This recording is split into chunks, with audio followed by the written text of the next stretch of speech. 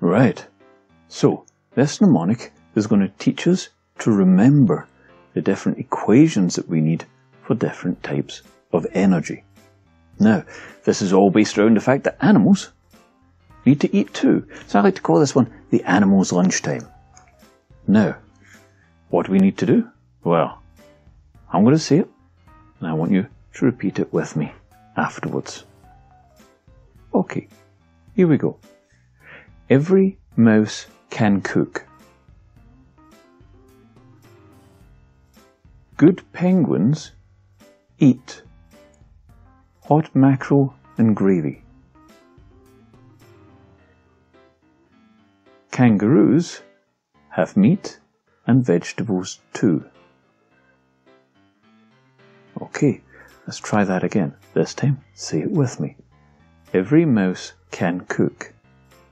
Good penguins eat hot mackerel and gravy. Kangaroos have meat and vegetables too. Okay, let's talk about what each one of those means. Every mouse can cook. We're interested, remember, in the first letters. E equals M times C times C. E equals mc squared. It's our famous equation from Albert Einstein. E equals mc squared. And c is the speed of light, which is just a number. In this case, nothing more than a number. And it's 3 times 10 to the power of 8. So, E equals mass multiplied by 3 times 10 to the power of 8 squared. There we go. That's our first one. Good penguins eat hot mackerel and gravy. Good penguins eat GPE, gravitational potential energy. Gravitational potential energy equals H M G, height times mass times gravity. So, gravitational potential energy is height times mass times gravity.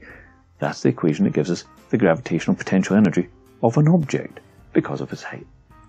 And lastly, kangaroos have meat and vegetables too. K is for kinetic energy. K equals half, half.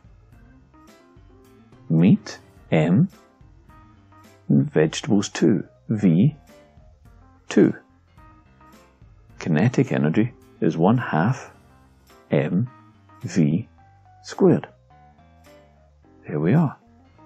Three equations that you need to understand and be able to use for the different types of energy.